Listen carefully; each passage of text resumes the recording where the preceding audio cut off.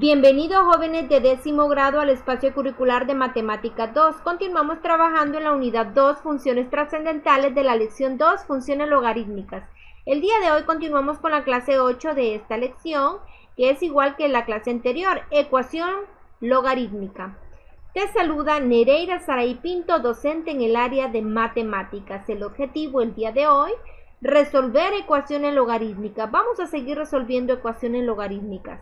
Material, el libro de textos y cuentas con él, cuaderno y lápiz. Este contenido lo puedes encontrar en la página 106 a la 107 de la guía del docente y en la página 94 a 95 del libro del estudiante. Continuamos con nuestra clase. Veamos el ejemplo 2.16, donde me están pidiendo resolver este logaritmo de base 3 de x más logaritmo de base 3 con argumento x menos 6 igual a 3. Si te fijas, tenemos una suma de logaritmos de igual base. Volvemos a copiar nuestro ejercicio y si recuerdan de clases anteriores, cuando tenemos una suma de logaritmos de igual base, podemos expresarlo como ese logaritmo de igual base multiplicando sus argumentos. Es lo que vamos a hacer en este ejercicio. Colocamos logaritmo de base 3 y multiplicamos sus argumentos y lo igualamos a 3. Excelente. En este paso, ¿qué es lo que he hecho, jóvenes? ¿Ya lo notaron? Muy bien, pasamos este logaritmo a su forma exponencial. Como es un logaritmo de base 3, eh, la potencia me va a quedar de base 3 elevado a este 3 e luego igualamos al argumento que sería x por x menos 6. Hemos expresado en forma exponencial. 3 a la 3 es 27. Si multiplicamos x por x, x a la 2, x por menos 6, menos 6x. En el siguiente paso, en uno de los lados del igual me va a quedar 0. Y este 27 va a pasar con estos dos términos con signo contrario, es decir, a restar, quedándome x al cuadrado menos 6x menos 27 igual a 0. Un trinomio que lo podemos factorizar por tanteo. Abrimos paréntesis separamos las x, buscamos dos números que multiplicados me den 27 y al sumarlos o restarlos me den negativo 6. Para ubicar los signos a veces es recomendable colocar el primer signo, este primer signo colocarlo en el primer paréntesis y este segundo signo, de donde lo sacamos, de la multiplicación de estos dos signos, menos por menos, más. Este es el primer signo y en el segundo paréntesis la multiplicación de estos dos signos. Dos números que multiplicados me den 27 serían 9 y 3. Si probamos negativo 9 por 3, negativo 27. Como son signos distintos, se van a restar. Negativo 9 más 3, tengo como resultado negativo 6. Esta sería mi factorización. Al igualar a 0 cada término y despejar, x sería igual a 9 y x sería igual a negativo 3. Tenemos dos resultados, de la cual la única solución es x igual a a 9. ¿Por qué? Porque en esta ecuación los argumentos que son x y x menos 6, recuerdan que el argumento debe ser mayor que 0. Por lo tanto, x debe ser mayor que 0 y x menos 6 debe de ser mayor que 0. De ambos argumentos se concluye que x debe de ser mayor que positivo 6 al realizar el despeje y el único número que es mayor que 6 es el 9. Por lo tanto, es la única solución de esta ecuación. Veamos el ejemplo 2.17. En este ejemplo tenemos una resta de logaritmos que tienen la misma base. Volvemos a copiar nuestro ejercicio y qué propiedad podemos aplicar aquí. ¿Qué pasa con la resta?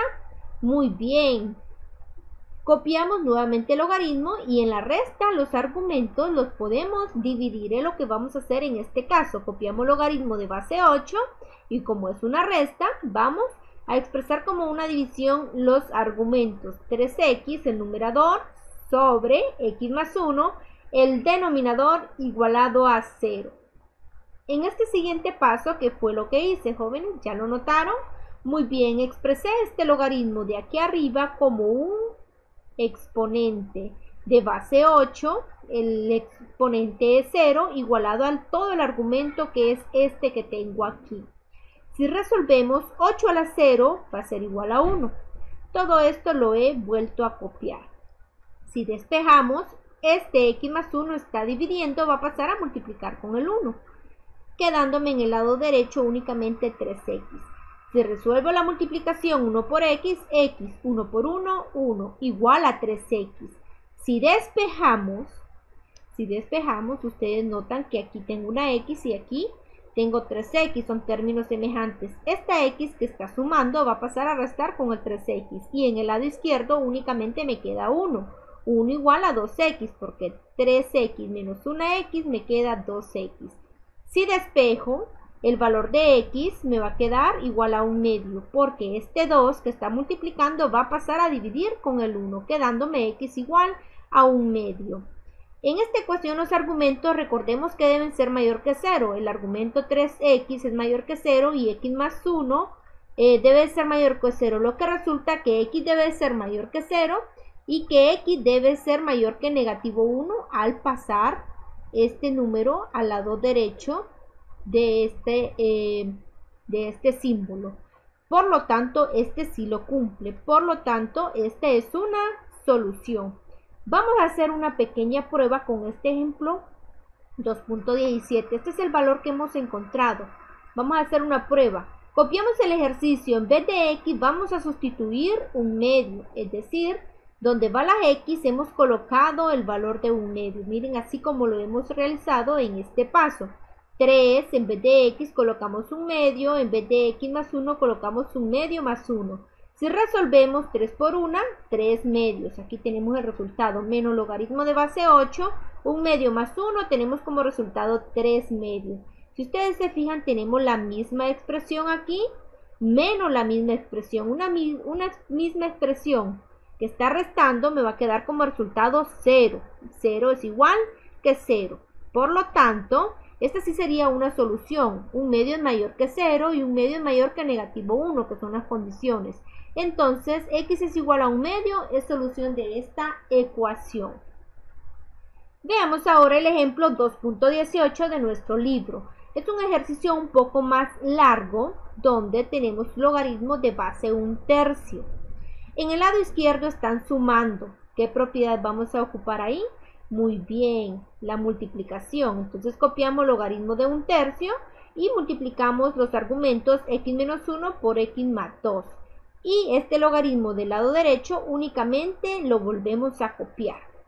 En el siguiente paso hacemos la multiplicación de estos dos binomios. Aquí en este apartado vamos a realizar esta multiplicación.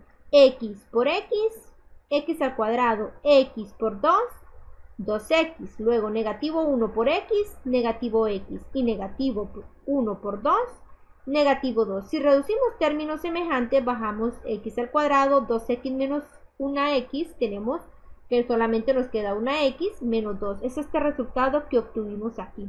Si ustedes se fijan, tenemos en el lado izquierdo logaritmo de la misma base y en el lado derecho también. Por lo tanto, podemos igualar los argumentos, porque si tenemos un logaritmo de base a de x igualado a un logaritmo también de base a de un argumento y, entonces puedo igualar x igual a y. Fue lo que hice aquí en este paso. En el siguiente paso vamos a despejar y a reducir términos semejantes. En el lado derecho del igual lo vamos a dejar en 0. Este 3 va a pasar a restar con la x. Eh, el x al cuadrado lo bajamos. x menos 3x me queda negativo 2x. Este 1 pasa a restar con el negativo 2. Negativo 2 menos 1 me queda negativo 3. Nos queda este trinomio que tenemos que factorizarlo. Dos números que multiplicados me den negativo 3 y al sumarlos o restarlos me den negativo 1. Podemos hacerlo aquí de manera aparte. Estas son las x que van en el primer paréntesis y en el segundo paréntesis. Colocamos los números. ¿Cuáles serían dos números que multiplicados me den negativo 3? Negativo 3 por 1, ¿verdad? Y negativo 3 más 1 es negativo 2. Si lo hacemos de manera cruzada, 1 por x, 1x. 3 por x, negativo 3x.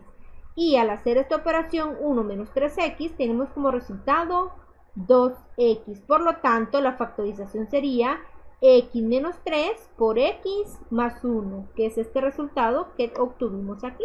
O como les había dicho en el ejercicio anterior, en el primer paréntesis colocamos este primer signo En el segundo paréntesis la multiplicación de estos dos signos, menos por menos, más. Y los dos números que multiplicados me den negativo 3 son 3 y 1. Negativo 3 por 1, negativo 3. Y negativo 3 más 1, negativo 2. Por lo tanto, esta, al igualar a 0 y despejar para x, x sería igual a 3 y x sería igual a negativo 1. ¿Qué pasa con este ejemplo 2.18? Estas son las dos soluciones que hemos encontrado. En esta ecuación los argumentos también deben ser mayor que 0. Cada uno de estos argumentos debe de ser mayor que 0. Por lo tanto, en el primer apartado, x debe de ser mayor que 1 al despejar. x debe de ser mayor que negativo 2. Y al despejar para x aquí, x debe de ser mayor que negativo 1 tercio. De los valores x es igual a 3 y x es igual a negativo 1, solo 3 cumple que es mayor que 1. es mayor que negativo 2 y es mayor que negativo 1 tercio. Por lo tanto, 3 es la única solución. ¿Por qué? Porque este negativo, este 3 cumple que es mayor que 1, es mayor que negativo 2 y es mayor que negativo 1 tercio. El negativo 1 no cumple estas tres condiciones de los argumentos. Por lo tanto, x es igual a 3 sería mi única solución en este ejemplo. Bueno jóvenes, es momento de que practiquemos en casa lo que hemos aprendido el día de hoy. Tenemos el ejercicio 2.14, 2.15 y 2.16 para que ustedes practiquen en sus cuadernos. Y recordándoles que siempre los esperamos en la clase de matemática 2 correspondiente al décimo grado.